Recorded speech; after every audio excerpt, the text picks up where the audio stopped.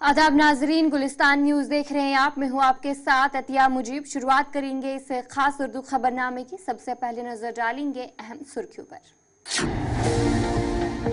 वस्ती कश्मीर के श्रीनगर जिला के संडे मार्केट इलाके में ग्रेनेड धमाका। मुतद अफराद हुए जख्मी। पुलिस की तहकीकात जारी।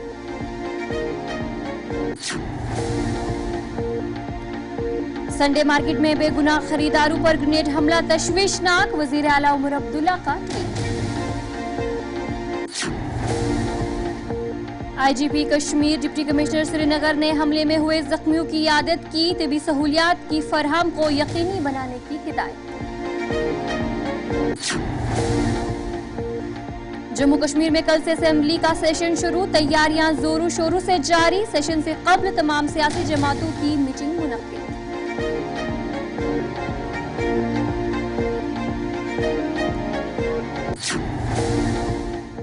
तो चलिए कि कुछ अहम सुर्खियाँ। अब दीगर खबरों की तरफ़ भी रुख करेंगे, जहाँ पर वस्ती कश्मीर के श्रीनगर ज़िले के संडे मार्केट इलाके में ग्रेनेड धमाका हुआ, जिसके नतीजे में मुतद अफराद जख्मी हुए। और ये मसरूफ मार्केट के करीब टीआरसी के पास मुशतबा मिलिटेंटों ने ग्रेनेड फेंका, जिससे कई अफराद जख्मी हुए। तमाम जख्मियों को फौरी तौर पर करीबी अस्पताल मुंतकिल कराया गया, जहाँ उनकी हालात मुस्तकिम बताई जाती है।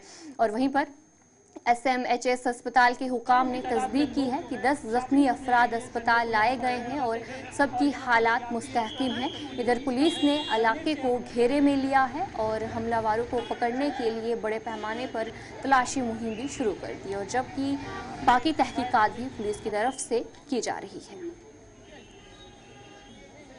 वहीं पर जम्मू कश्मीर के वज़ीर अला उमर अब्दुल्ला ने कहा कि वादी के मुख्तलिफ़ इलाकों में हालिया दिनों में हमलों और झड़पों की खबरें सुर्खियों में छाई रही हैं। आज एतवार बाज़ार श्रीनगर में मासूम खरीदारों पर ग्रेनेड हमले की खबर बेहद तशवीशनाक है।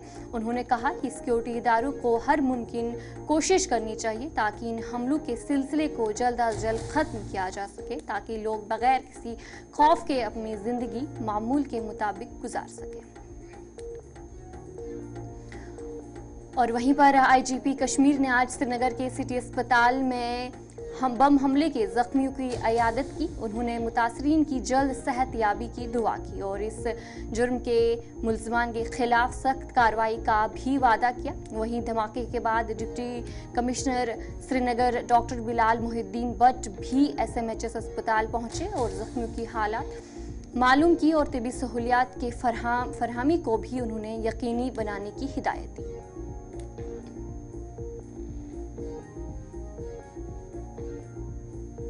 वहीं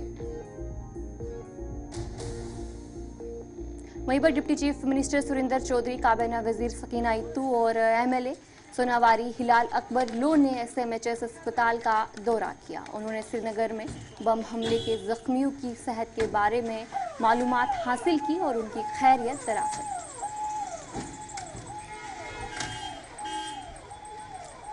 देखिए, ये बदकिस्मती है।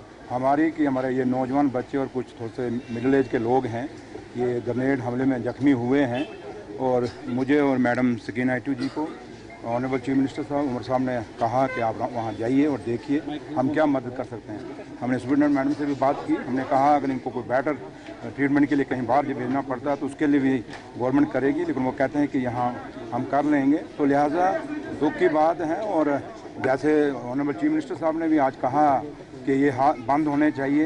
क्यों हो रहे हैं? रोज़ रोज़ क्यों हो रहे हैं? जो सिक्योरिटी फोर्सेज हैं, वो क्या कर रही हैं? ये खाली हम एक दूसरे पर टिपा टिप्पणी करेंगे, उससे बात बनने वाली नहीं है। इनको रोकना पड़ेगा। और आतंकवाद के ख़िलाफ़ हम लोग हैं।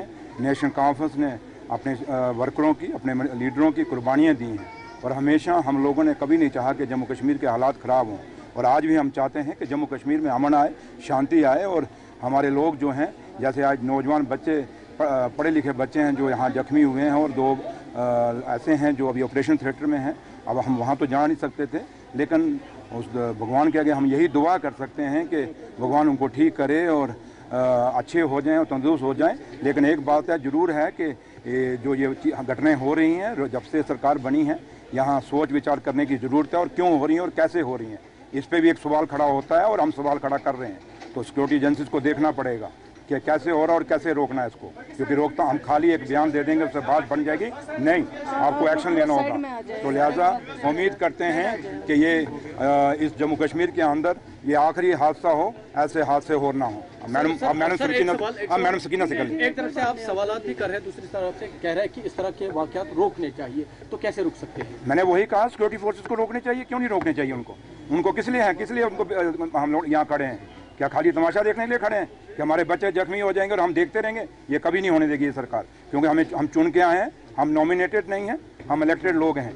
हमें किसी ने अपॉइंट नहीं किया, हमें लोगों ने अपॉइंट किया, हमें लोगों ने इलेक्ट करके भेजा। तो इसलिए हम ये कहेंगे कि ये रुकने चाहिए सिक्योरिटी फोर्सेस को इसके पे एक्शन लेना होगा, और जो भी ये हालात बन रहे हैं, इनको रोकना होगा, ये रोज रोज की घटना नहीं चलेगी। हम तो आए हैं इसीलिए कि अगर इनको कुछ भी ज़रूरत हो, कुछ भी करना होगा इनके लिए, वो गवर्नमेंट बिल्कुल तैयार है। यहाँ डॉक्टर्स हमारे बहुत काबिल हैं, इन लोगों ने भी कोशिश की है कि जल्द इनका इलाज हो सके और इलाज चल रहा है। सभी पेशेंट से हम मिले सिवाय दो के जिनकी जो सर्जरी थिएटर में है ओटी तो इसलिए हमें जो भी पॉसिबल करना होगा वो हम ज़रूर करेंगे ताकि हम जाने बचा पाएँ। मरकजी वज़ीर प्रहलाद जोशी और भारतीय जनता पार्टी के कौमी जनरल सेक्रेटरी तरुण चुग ने इस हमले पर अफसोस का इजहार किया है। उन्होंने कहा कि इस मामले पर मरकजी हकूमत और जम्मू कश्मीर हुकूमत संजीदगी से गौर कर रही है। घटना दुखद है, निंदनीय है, कायरतापूर्ण जो भी दोषी है जो भारत के नागरिकों पर हमला कर रहा है, जिनके हाथों में हथियार हैं, उन्हें कब्र में पहुँचाया जाएगा या जेल में पहुँचाया जाएगा, छोड़ा नहीं जाएगा। आज श्रीनगर में संडे मार्केट में ब्लास्ट हुआ है तो ग्रेनेड अटैक हुआ है। ये तो डिस्टेबलाइज करने के लिए कुछ शक्तियाँ काम करते ही रहते हैं, लेकिन भारत सरकार इसमें बहुत सख्त से काम ले रहे हैं कर रहे हैं और उसके साथ ही साथ ज़ीरो टॉलरेंस टूवर्ड्स टेररिज्म यही पॉलिसी रख के हम आगे बढ़ेंगे। और इसको जो कुछ भी कार्रवाई करना है जम्मू कश्मीर सरकार और हमारे भारत सरकार मिलकर ज़रूर इसमें कार्रवाई करेंगे। और तो ये तो बहुत पुराना समस्या है लेकिन इसको जड़ से उखाड़ के फेंक देने के लिए हम संकल्पबद्ध सर एनसी कांग्रेस इसको साजिश बता रही है। ये तो ऐसे नेशनल सिक्योरिटी का इशू है ये। कम से कम ये नेशनल सिक्योरिटी के इशू के बारे में, क्योंकि चुनाव अभी अभी हुआ है। नया सरकार आके पंद्रह बीस दिन भी नहीं। तो चले ब्रेक के बाद आपका खैर मकदम है। श्रीनगर में बीजेपी कोर कमेटी का इजलास मुनद हुआ। असेंबली इजलास 4 नवंबर से शुरू होगा। इस इजलास में प्रहलाद जोशी तरुण चुग समेत कई लीडरान ने शिरकत की और इस मौके पर सुनील शर्मा को पार्टी लीडर मुकर्र किया गया। ये इजलास जम्मू कश्मीर की पहली असेंबली सेशन से पहले हुआ जो छः साल के वक्फे के बाद चार नवंबर को होने वाला है। हाल ही में शामिल होने वाले जम्मू कश्मीर के असेंबली इंतबात में बीजेपी ने अब तक सबसे बड़ी कामयाबी हासिल करते हुए 29 निश, निशस्तें हैं। वहाँ पर उन्होंने जीत दर्ज की।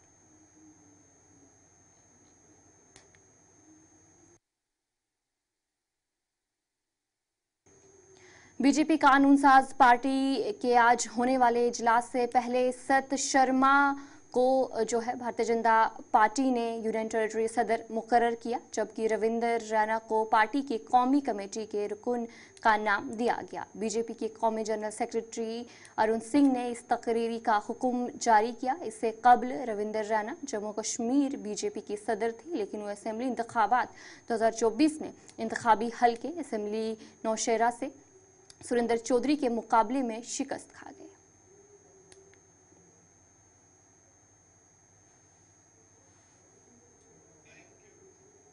जम्मू कश्मीर में कल से असेंबली का सेशन शुरू हो रहा है, जिसकी तैयारियाँ जोरों शोरों से जारी है। सेशन से कबल तमाम सियासी जमातों की मुलाकातों का सिलसिला भी शुरू हुआ। और जहाँ पर तैयारियाँ जो है जोरों शोरों पर देखने को मिल रही है। इस, लिए इस बार का असेंबली सेशन काफ़ी दिलचस्प होने वाला है। इस सेशन की तैयारियों के हवाले से हमारे नुमाइंदे इमरान नाइको ने प्रो टीम स्पीकर मुबारक गुल से खास गुफ्तगू की। जम्मू कश्मीर लेजिस्लेटिव असेंबली का पहला इजलास काफ़ी अरसे के बाद कल से शुरू हो रहा है। और ये यूटी का पहला इजलास होगा श्रीनगर की लेजिस्लेटिव असम्बली कॉम्प्लेक्स में। हमारे साथ एक्सक्लूसिवली बातचीत के लिए मुबारक गुल साहब हैं जो कि एमएलए भी हैं ईदगाह के और इस वक्त प्रोटेम स्पीकर भी हैं लेजिस्लेटिव असम्बली के। मुबारक साहब बहुत शुक्रिया आपका। आज आपने यहाँ पे रिव्यू किया है कल से सेशन हो रहा है शुरू। तो किस तरीके की क्या तैयारी हैं? ये जो जिम्मेवारी मेरे ऊपर है कि ये सेशन जो कल चलेगा इसके लिए तैयारियाँ देखी। आज मैंने मैं खुद आया यहाँ मैंने मॉनिटर किया। कि क्या क्या जो ज़रूरत यहाँ क्या हमारी जो चीज़ें थी इन प्लेस रखनी थी, वो हमने सारी देखी। और मैंने खुद भी मुआयना किया। मैं चाहता था कि कोई ऐसी बात ना हो जिससे कोई इंडिसिप्लिन हो या कोई या असम्बली की ताकदस को ये पामाल हो जाए, कुछ ऐसा हो जाए। इसलिए मैंने खुद आज भी आया, कल भी आया था, मैं दो दिन कंटिन्यूसली आ रहा हूँ। और जब से मैं प्रोटीम स्पीकर बना तो उस दिन से मैं कंटिन्यूसली यहाँ आ रहा हूँ और बड़ा कोऑपरेट किया यहाँ के मुलाजमों ने और गवर्नमेंट के जो एग्जीक्यूटिव है, उन्होंने भी बड़ा किया मेरे साथ ये चलाने में, यहाँ देखने में और जो सिस्टम बैठा था काफ़ी अरसे से यहाँ बड़े छः साल के बाद पहले भी असेंबली बहुत कम चली। तो नया ये सिलसिला करना पड़ा इसके लिए मुझे आ, आना पड़ा हर रोज़ यहाँ देखना पड़ा और मैं खुश हूँ आज कि जो चीज़ें मैंने इनको कही थी कहने के लिए जो हमारा सेक्रेटरी है और इनका स्टाफ है पर्सनली ये मुझे जानते हैं और इनका मशहूर हूँ कि जो जो चीज़ें मैंने आइडेंटिफाई की थी ये होना चाहिए उन्होंने वो इन प्लेस सारा रखा है। मुबारक साहब बतौर नेशनल कॉन्फ्रेंस के एक सीनियर लीडर कई बार के एमएलए स्पीकर एक्सपीरियंस एक सेशन शुरू हो रहा है सो इंटरेस्टिंग या दिलचस्प क्या होने वाला है? और ये पहला यूटी का सेशन हो। नहीं मेरी बात सुनिए जो हमने प्रोविज़न जो कैलेंडर दिया प्रोविजनल कैलेंडर में हमने ये कहा कि पहले दिन जो ऑनरेबल स्पीकर का इलेक्शन होगा और और एक फिर उस दूसरे दिन हमने अभिचेर रखी कि अब देखें, बहुत सारे हमारे साथी इन बरसों में चले गए दुनिया से फ़ानी से, और उनको खराज इकदत पेश करना, खराज तहसीन पेश करना है। और उसके बाद फिर गवर्नर साहब का, लेफ्टिनेंट गवर्नर साहब का एड्रेस होगा। और फिर उसके बाद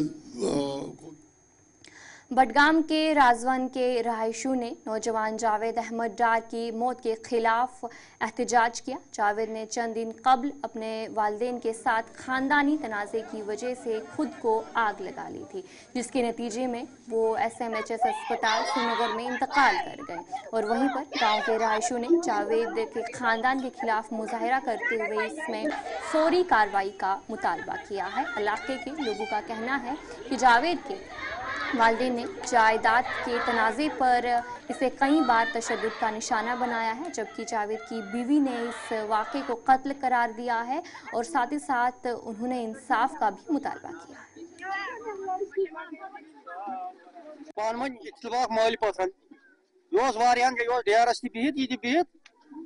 है। रात गो अचानक बूज अस रात अत गो यह वारदात गो सुबह वुच आव यह हादसा पेश। और यमो नार नार अमिस यह पता क्या यमो पलब क्या अम दपान दोल यमो बयान अड़ो यह सा बाईपास पे अड़ो क्या मगर यह गरस मज अमिस मसलु युत अच्छो हम चाहते हैं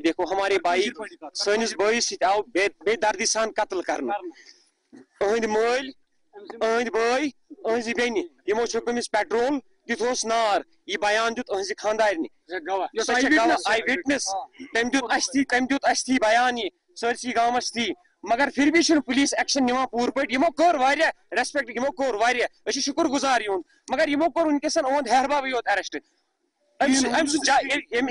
यमिस इंतकाल गो तम सुन बरादर आव नुन अरेस्ट कर फैसला कर हुर सुपुल सुमोल बे ब्या एज गम सह सोर आमुत यह चीजन आमुत अंदर अम्स आय मोल बोय बेन तमो दुत अमिस तेल तेल दुतुक यह बोन दारित यह सोचुक न अख दुतस तेल बे दार की बोन दार पत आय बाईपास वल आय अमिस अंदर दोपस यह पज कर कहें तिमन तह यक पब्लिक और आज तिमन कजल यक तमाम हमसायन तह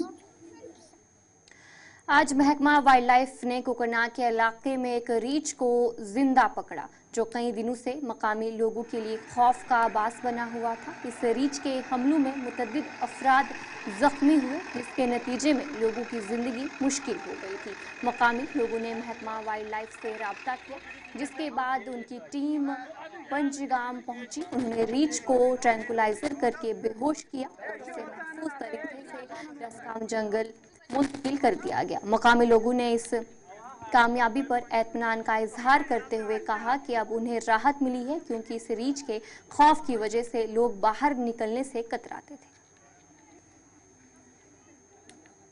अदबी मरकज कामराज का दो रोज़ा सालाना अदबी कॉन्फ्रेंस आज अख्ताम पजीर हुआ। इस कॉन्फ्रेंस में कश्मीर के मुख्तलिफ़ इलाकों से आए हुए अदीब शुरा के अलावा कश्मीरी ज़बान व अदब से दिलचस्पी रखने वाले अफराद की एक बड़ी तादाद ने शिरकत की।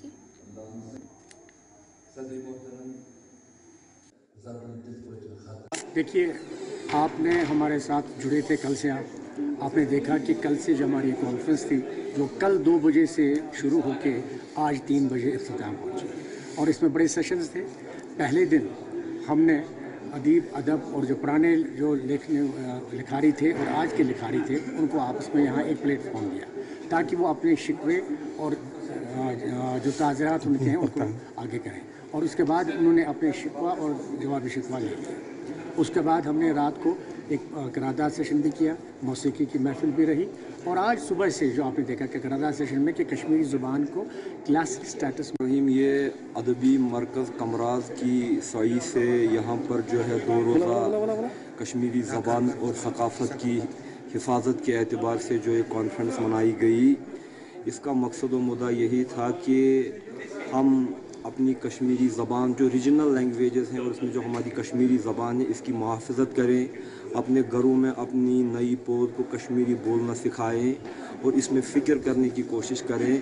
और इस, जो एक बहुत बड़ा इल्मी असासा, सकाफ़ती असासा हमारा है कश्मीरी ज़बान में, इसको नई नस्ल तक मुंतकल करने की जो है काविश तो चले ब्रेक के बाद आपका खैर मकदम है। बारामूला के मिंट कॉम्प्लेक्स में मिंट सिटी गेमिंग जोन का अफ्ताह किया गया, जिसके मेहमान खसूसी मसूदा मीर थी। ये गेमिंग जोन गेमिंग के शौकीन अफराद के लिए एक खुशगवार और दिलचस्प माहौल फराहम है।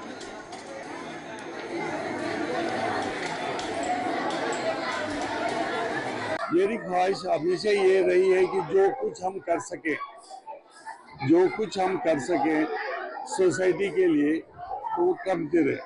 क्योंकि अगर हमने देखा, मैं भी उसका पार्ट हूँ, हमने कुछ पहले किया हुआ नहीं है। यहाँ की अभी की जो सबसे बड़ी प्रॉब्लम है, वो ये है कि अनएम्प्लॉयमेंट है। अनएम्प्लॉयमेंट में ये वजह है कि गवर्नमेंट के पास जितने रिसोर्सेज हैं, वो ज़्यादा एम्प्लॉयमेंट दे रहे हैं। इतने पैसे भी नहीं उनके आते कि वो उनका ख्याल कर सके मतलब सैलरी से बाहर जो बचे। So I, I owe a lot to this community. So this is my pay, way of paying back. And I need to thank my dad for that. I mean, I, it wouldn't have been possible had he not made it possible. बाकी अल्हम्दुलिल्लाह रब्बिल आलमीन it's because of all अल्लाह ताला बाकी हम सब उसके शुक्रगुजार हैं पर हर हमेशा देखते होंगे कि बच्चे मोबाइलों पे लगे होते हैं उसमें उनके लिए अच्छा भी होता है बुरा भी होता है होता है कि फलानी बच्चे ने ड्रग्स के दौरान खुदकुशी की, या ड्रग्स से उसकी जान चली गई। आज ये आप बारामूला में पहली बार एक बहुत बड़ी अचीवमेंट है। मोबाइल्स की बात क्यों करते हैं? यहाँ पर आजकल हमारे बच्चे जो हैं वो ड्रग्स की तरफ़ जा रहे हैं। हमारे बच्चे बहुत बुराइयों की तरफ़ जा रहे हैं। यहाँ इस टाउन में बहुत ज़रूरत थी कि एक ऐसा प्लेटफॉर्म बच्चों के लिए हो, जो यहाँ पर शुमाली कश्मीर के ज़िला बारामूला के सोपुर में आज बज़म शहर व अदब की जानब से एक रोज़ा अदबी कॉन्फ्रेंस का इनका किया गया। इस दौरान अदब से वाबस्ता शरा ने शिरकत की। इस मौके पर नौजवान शायर मुदसर मरशाल की किताब, एंड आई क्विट की रस्म रोनुमाई भी की गई।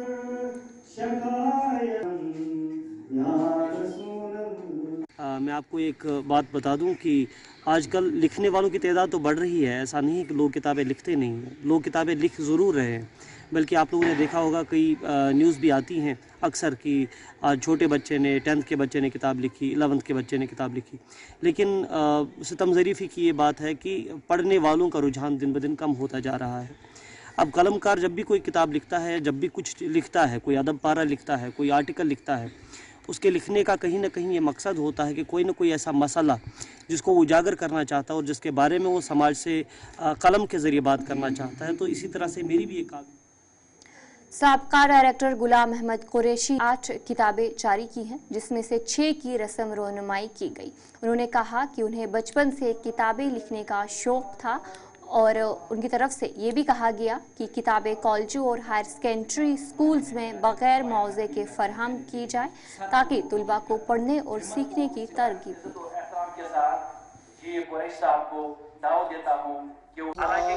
मैंने जो यहाँ किताबें ये पहले ही रिलीज़ हो चुकी हैं।